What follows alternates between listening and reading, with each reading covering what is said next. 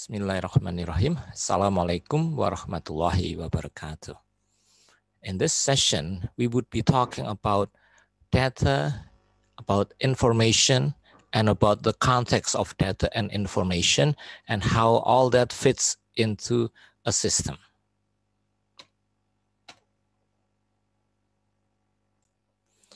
Now, uh, let's think about what is data and what is information. It's often that those terms are interchanged between one another. We think something is data while it's actually information. We think something is information while it's actually data. Now, to make it clear, first, uh, let's say we have one number, like the number 15, for instance. 15 is absolutely just data because 15, we don't know what it is. We don't know whether it's about uh, 15 chairs or 15 tables or 15 students, for instance. But now we have here 15 degrees. Now, when we think about whether it's data or information, we should think whether we can understand the meaning of it or not. Just the number 15, we can't understand what it is, so that's data. 15 degrees, can we understand it? Uh, depends on what we mean by degrees. If it's degrees in terms of temperature, okay, so uh, it's how uh, how many Celsius it is, for, for instance. But it could also be the angle of, of something, the angle of a slope, for instance. So it's still not clear. It's still not understandable. So in that case, it's still data. Now, if we put more attributes to it, it's 15 degrees Celsius. Okay, it's not Fahrenheit, it's not Kelvin, it's Celsius. Uh, more understandable, but still we're not quite sure what it's about. Is it the temperature of a table or is it the temperature of uh, a drink? Or is it the temperature of, uh, let's say, uh, the floor that we are standing on? Or is it the temperature of the air? Now this is much more understandable. The weather at 1 p.m. today in Melbourne is 15 degrees Celsius. Now we know the location, we know the time, and we know the temperature. So this could be information because we could understand it. And uh, th there's some processing in it uh, when, when you take the temperature and so on. And when you put more attributes uh, there's some processing there. Uh, but it now depends on whether it's useful or not. For me because I'm not planning to go to Melbourne anytime soon. Well, it's just data. I couldn't follow up on it. It's not useful for me. But for those of you who are planning to go to Melbourne, well, that is information because then there's something you can do with it. It's useful. Let me show another example. The stock price of three companies you have Telkom 2000, Unilever 1000, Indosat 1750. Let's see, is this data or is it information?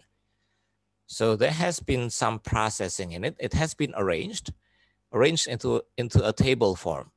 So uh, there's some part of data in it because uh, some part of information because information is actually data that has been processed, has been arranged so there's an arrangement in the form of a table here.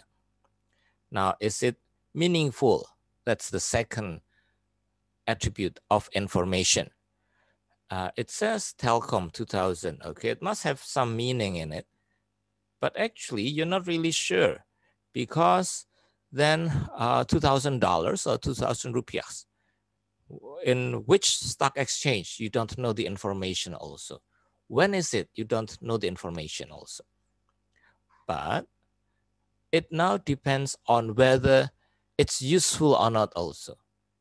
If this were to be shown to a elementary school student, and uh, that student were asked which is the highest number among the three. Oh, it's 2000. That's the highest number. The lowest number is 1000 and 1750 is lower than 2000. So for that elementary school student, this is information because it's useful. But for us, for students, and even more for stockbrokers, it's not information, it's just data. Now let's take a look at the next one here. It has better attributes, more attributes. Even have the Jakarta Stock Exchange stock price. So you know the location, it's Jakarta Stock Exchange. You know the date, it's rather outdated, uh, but it's still probably usable maybe. And then you have the indication that it's in rupiah. Now, for a student to just be able to compare the prices of stock at a particular time in Jakarta Stock Exchange, that's still okay. Because of if your assignment was to compare the prices of uh, the stock between these three companies, it could be information. But for a stockbroker, this is still data because to be able to buy and sell stocks, you would need to know the historical data, whether uh, 2000 is expensive or not, we couldn't find out because it's just one moment in time. We need to know what happened in 16 September, 17, and then also January, February, and uh, March, and so on. And even then, you still need to know the balance sheet of that company. You need to know the, what's happening in the environment, whether there are changes in uh, the use of telecommunications that would increase the benefits of using telecom, for instance. Now, for a stockbroker, you need more than this for it to become information. So from here, we can see that information actually really depends on the user. Who's using it? Is it an elementary school student? Is it a high school or a graduate student? Or is it a stockbroker, for instance? Now, uh, since what we are making should be something useful, so the, the, the basic thing that you'd be making, of course, is uh, a database. But the database eventually should be able to be processed, should be able to be made into information that's useful for a user.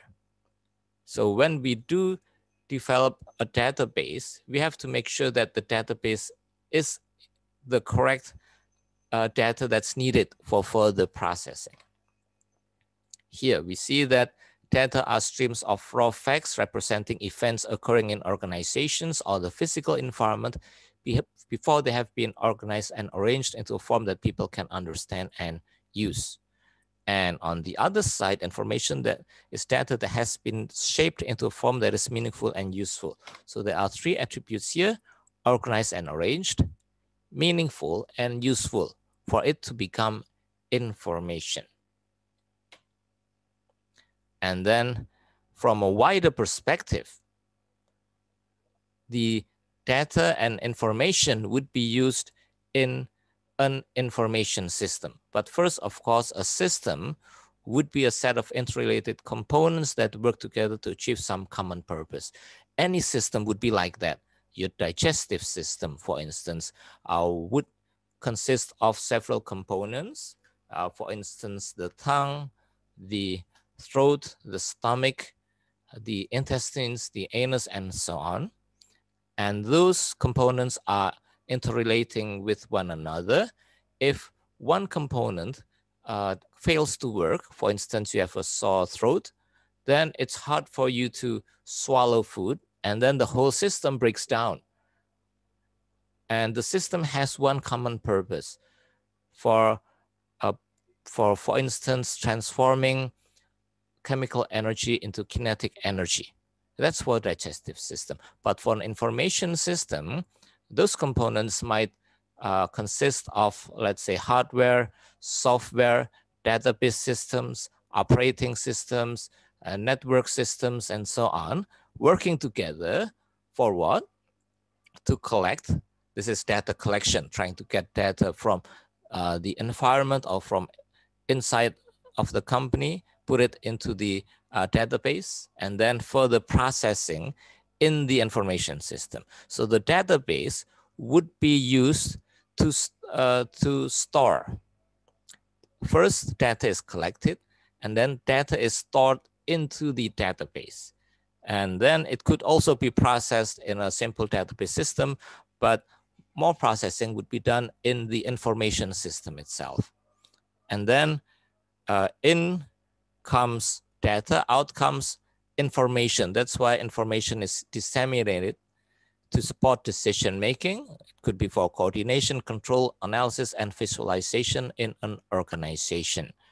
Now, when we collect and store data, we have to make sure that the data that we collect and store is feasible to be able to be processed uh, after that and then disseminated in, in the form of information.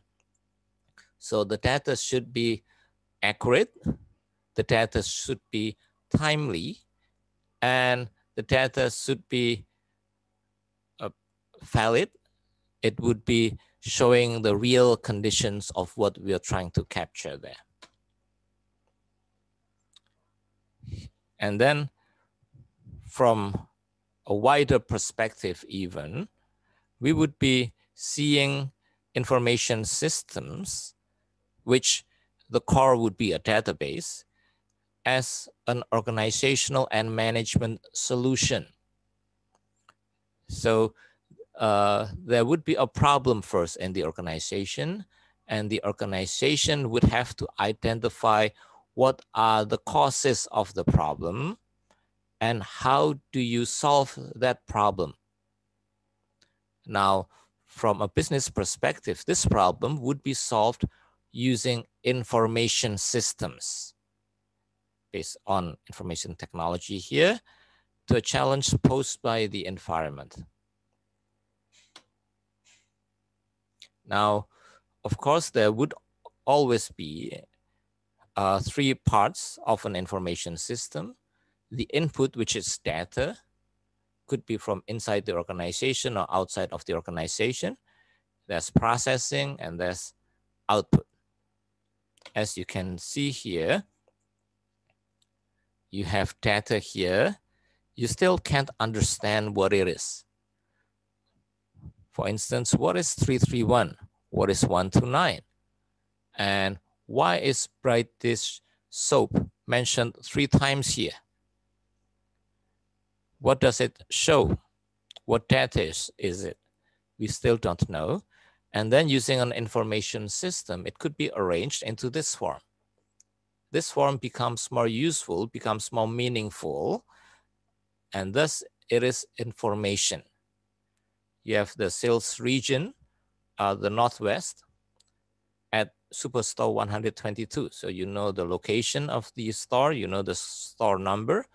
Now you can see that 331 is actually the product ID or the item number. Uh, this is actually uh, the soap uh, is the product. And then you have 7,156 as the number of units sold, meaning that actually in the whole database, you have bright dish soap mentioned seven times more, 7,000 times. And then year-to-date sales, 9,231. So that means 1.29 is the price because if you multiply this times the units sold, you get this sales value. And now from an even wider perspective, you can see this is data as input. You do some processing here. Uh, you do tabulation, for instance. Uh, you do calculations with a certain formula and outcomes information as output. And then there could be a feedback, which for instance is used to verify the output. Or it could be sent to a higher level system. The first part would be just a reporting system. Uh, the higher level system might be a system used for making decisions, for instance. It could, it could go also to another system. Output of one system could go out as input to another system. And you can see here, there are in, uh, data that could be captured from the environment. Data from suppliers, data from customers, it could be from the other governmental agencies, stockholders, competitors. So this could be data that could be input into the system, as well as data from inside of the company as well. Now, when we build a database in this part here, okay, we have to make sure that what we put into the database is adequate enough to be processed and then to be made into information that is useful and meaningful. So that's the uh, main uh, purpose of designing a database. I hope this gives a better understanding of the context of data, information, systems, and also uh, databases in a systems. Thank you and wassalamualaikum warahmatullahi wabarakatuh.